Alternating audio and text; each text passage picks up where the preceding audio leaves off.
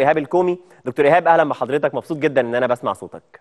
مساء الخير زميل عزيز طبعا هاني أنا اللي سعيد أكثر بوجودي معاك ومتألق دايما يا رب. ربنا يخليك يا رب ويوفقك دايما. وأكيد في ملفات كتيرة جدا ربنا يا رب يعينكم ويوفقكم فيها إن شاء الله للفترة اللي جاية لمصلحة الكرة المصرية. إيه تعليق. حضرتك على قرار الكاف النهارده دكتور إيهاب؟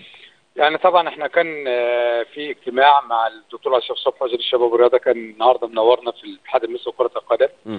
مع نهاية الاجتماع ومغادره ال- مع الوزير آه، فوجئنا بالقرار اللي صادر طبعا من الاتحاد الأفريقي أنا عاوز أقول آه، من البداية ده آه، الاتحاد المصري ارسل خطابين قبل كده للاتحاد الإفريقي بيعترض فيه على إقامة المباراة في المغرب مم. في حالة وجود ممثل للمغرب في المباراة النهائية تمام طبعا ده الخطاب ده ده بعتنا خطابين اثنين قبل كده.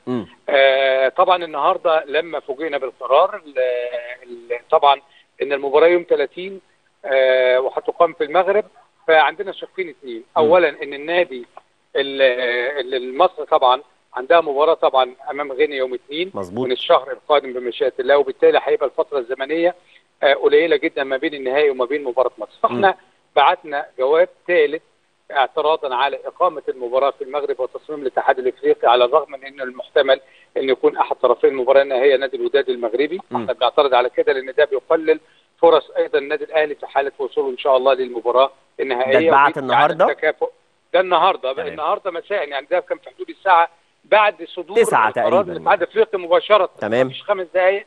كنا باعتينه وكمان إن في مباراة لمنتخب مصر فإزاي الأهلي هيلعب المباراة النهائية يوم 30 ومنتخب مصر عنده مباراة آه، أمام غينيا في تصفيات كأس الأمم الأفريقية كوت ديفوار 2023 أيوه يوم 22 فطبعا الفترة الزمنية مم. قليلة جدا وهيبقى في برضه تواصل مع الاتحاد الأفريقي صباحا.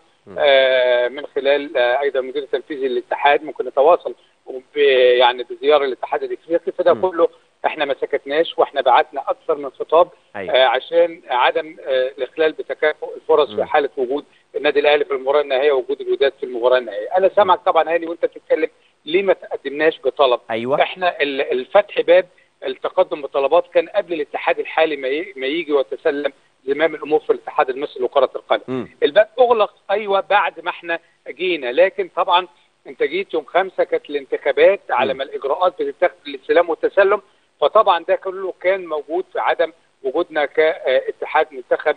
خلال آه، وجودنا أو تولينا للأمور. فبالتالي الأمر ده كان موجود مع اللجنة اللي كانت موجودة قبل كده أيوه. آه، وبتمثل آه، أو بتدير الكرة المصرية. طبعا ما سعيناش آه، طيب آه، آه، اعتقاد لا أنا بس آه، اتفضل، اعتقادي. إن. لازم عشان الاتحاد يتحرك ده بيبقى بناء على طلب من الأندية المشاركة في دوري رابطة الأبطال سواء كان الزمالك في ذلك الوقت والأهلي آه، طبعا اللي مواصل المشوار حتى المباراة النهائية. زي ما أنت قلت دلوقتي إن مثلا بيراميدز طلبت في الكونفدرالية من الاتحاد أو في ال- اللي كانوا موجودين في ذلك الوقت م. وبناء عليه تقدموا بطلب فده طبعا بيبقى مشروط الاتحاد لا يتقدم من تلقاء نفسه من الأندية المشاركة اللي بتطلب اعتقد. أعتقد آه. انه بيكون الاتحاد برضو مسؤول لأنه مثلا السنغال ما عملهاش ممثل في بطولة دوري. أبطال آه، أفريقيا وقدمت طلب لاستضافة النهائي أنا معاك لكن أنا بقول لك وبأكد لك مرة ثانية.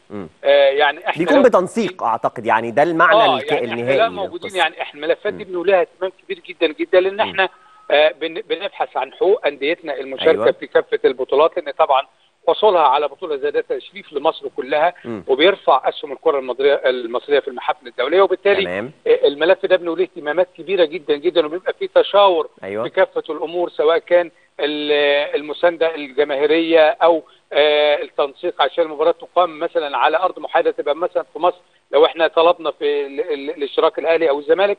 وبالتالي إحنا بنقول الملفات دي اهتمام كبير جدا. آه، منذ ما جينا الاتحاد المصري لكرة القدم. لكن آه، التقدم بطلبات كان مفتوح قبل ما نتولى تمام. الأمور تمام.